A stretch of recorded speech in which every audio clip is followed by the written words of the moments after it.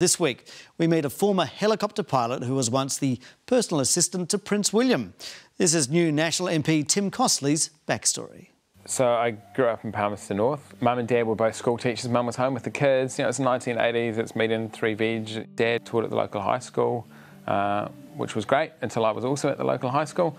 Um, and then and Mum worked there part time as well. I'm the middle child, so life was hardest for me. You know, I got the worst of everything uh, or in my version of history, I did.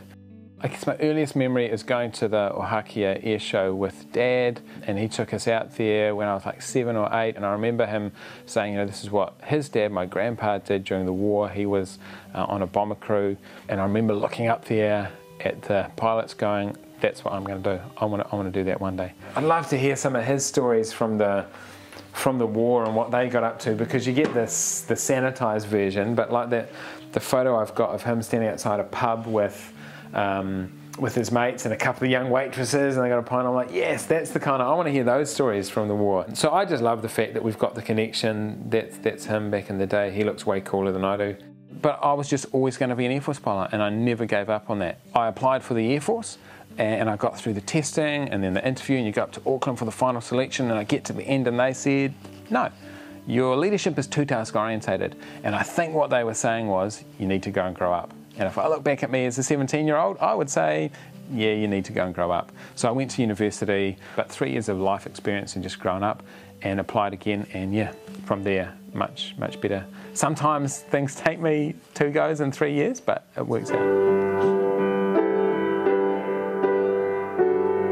You can just feel Tom Cruise getting closer, can't you? I always enjoyed music, and, and I was always relatively good at it, and never the, like never the best, but but always pretty solid. And I could play different instruments, and I can sort of taught myself guitar and you know, and played in the band. But I always enjoyed it. And you just kind of want Goose to come in and you know, you shake my nerve, and and we're into it. I remember so flying down to Blenheim to start training on day one and had to fly through Wellington and taking off out of Wellington, the airplane rolls to the left. I'm sitting on the left by the window and I was like, oh, oh. And I was like, oh crap, I can't feel like that. I'm, I'm, joining the Air Force to be a pilot. And here I am worried about a basic little turn. And a month later, you get put in the cockpit for the first time and you go flying and upside down. And it was just, yeah, it was amazing.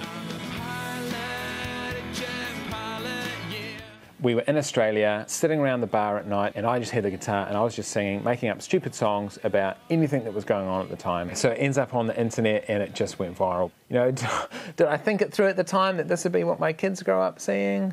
Maybe not, but I figured it's better to have all your skeletons on YouTube than in the closet.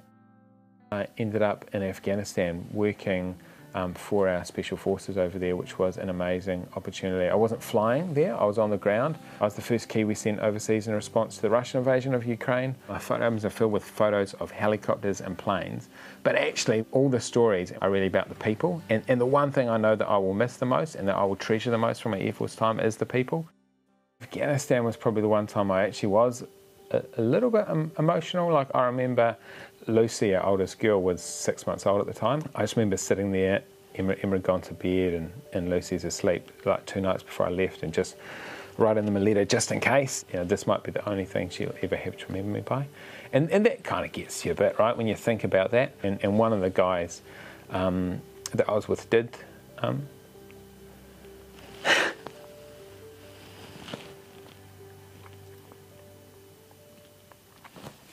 sorry yeah, it was when I'd been in Afghanistan a week that um, that we got the message that a friend had been killed back home in a, in a plane crash, 2010. It was, well publicised at the time. Um, a guy called Nick, who I had spent a lot of my career with, um, I'd sort of followed him through, just always, you know, a couple of steps behind.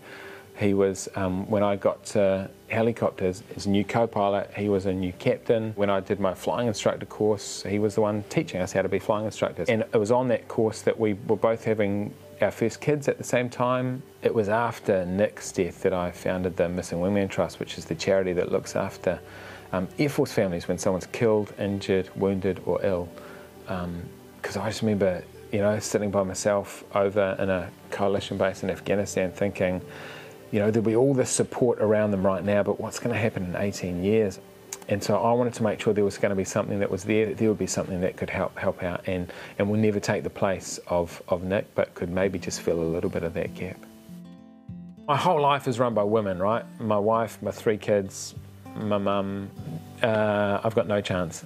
Um, but they are awesome, and they're also different. You know, you've got one that's just into everything, give every sport a go. One is so her, her level of empathy and compassion, and one that's just full of joy will find the fun in any situation. So between the three of them, like I just learned so much. Bye. Have a good day. Bye.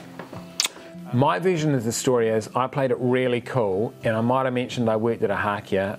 Definitely didn't say I was a pilot. Her version is, "Hi, I'm a pilot," and we just kept in touch, but just clicked. I mean, literally, the rest is, is history. She is just amazing. I can't say enough good things. She would hate me talking about her. Um, but phenomenal. Like she's the one that holds it all together. We are a loud family. Dinner time is loud. I'm lucky living a bit closer that that maybe you know there'll be the odd morning where I'm at home and can you know send the kids off to school. But I'm also realistic enough to know that they'll be few and far between. Does the hat still fit? Yeah. Well, it's it's always been a squeeze, but it's not really. Uh, it's not something I wear every day just walking around the house. How do you end up working for Prince William? I have no idea. A vague email got sent out to uh, a group of people. I don't know how they selected that group and said, "There's a job next year for a little bit. Uh, that might involve a visit or something. Is anyone interested?" And I went, "Yeah." And then I get a call on like Christmas Eve uh, saying on January that X be in Queenstown. This is what uh, Prince William and Princess Catherine and even baby George gave me um, at the end of my time working for them. Signed photo of the three of them. I remember getting to Cambridge and, and, we drive into the middle of town and the crowd are just going crazy, like it's just loud. And as they go to open the door, when they get the all clear, the whole crowd, this hush just comes over the crowd. I remember one cool story we were leaving the Wigram Air Force Museum, or we'd been down there, and they would break off from going to the vehicles and they'd go along the crowd because people turn up with flowers, but inevitably the security dragged them back. No, come on, you must jump in the car. And I saw this one little girl that had been missed at the end of the line standing there with her with her flowers, and I just rushed over and I, and I knelt down next to her and I said, Would you like me to give those flowers to the princess? Oh, yes, please. And then on the plane, uh, on the way back to Government House, I could give them to the princess. Say, hey, there was a little girl that would just love you to have these flowers. You know, and, and that's kind of been the story of my life, whether it's been that or the charity or now as I hope as an MP. I know I can't make a world of difference. I can't change the world. I can't fix everything. But there's always one little person that you can help. And, and if I can do that, if I can metaphorically take some flowers to a princess for a little girl, that would be amazing.